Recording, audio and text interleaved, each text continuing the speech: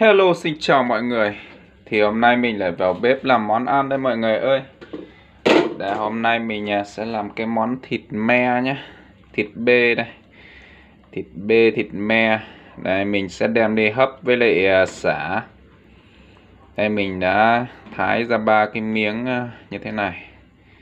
Đấy Thịt bê cho nên nó có cả cái phần da này.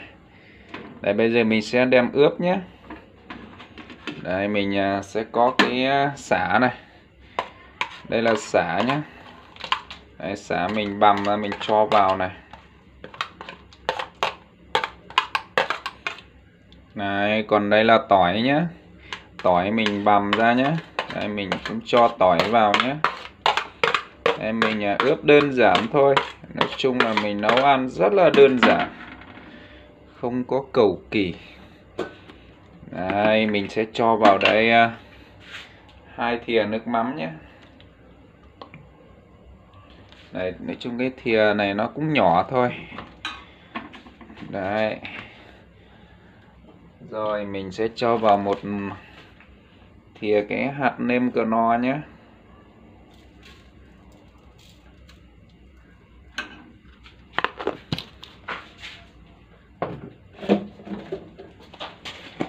Bây giờ mình sẽ cho vào một ít cái à, cái bột ngọt nhé.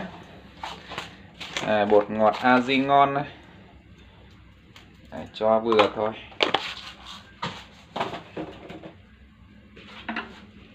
Đấy, mình sẽ đảo đây mình ướp.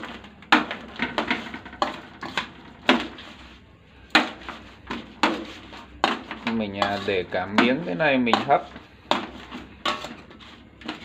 cho nó giữ được cái độ ờ, ngọt tự nhiên của cái thịt me này thì mình sẽ đem đi hấp cách thủy mọi người nhé.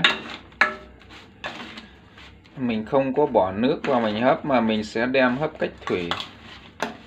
Mình sẽ cho nó chín bằng hơi đấy, đấy thì nó sẽ rất là ngon ngọt tự nhiên. Nhưng mà trước khi hấp thì mình phải ướp như thế này. Đấy. rồi ok mình sẽ cho vào cái này này đấy, để mình à, hấp. Đây, mình sẽ đắp lên đây. Đây, mọi người thấy không? Mình sẽ hấp cách thủy nha. Đấy. Đắp lên đây. Làm ba miếng nhá. Thịt bê rất là ngon luôn.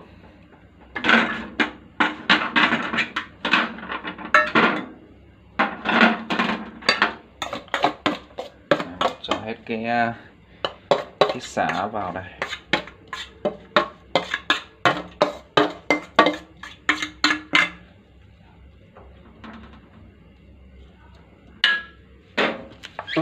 Bây giờ mình sẽ cho nước vào Mình cho một ít nước xuống dưới đây. Chung là mình cho ít nước thôi Không cần nhiều đâu. Đấy, giờ mình sẽ bật bếp lên.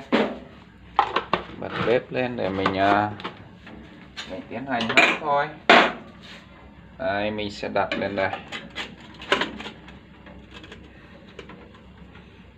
Đây, đặt lên như vậy mình hấp.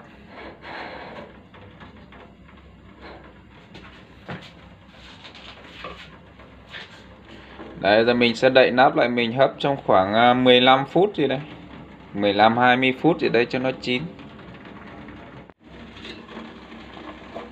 Đây rồi đây mọi người ơi. Đấy, mình hấp ờ, tầm khoảng ờ, 15-20 phút gì đấy Là được thôi. Nói chung thịt bê thì mình không cần phải hấp kỹ lắm đâu. Đấy nó vừa chín tới thì ờ, nó ăn nó sẽ rất là ngon ngọt. Đấy, để mình tắt bếp thôi. Đấy.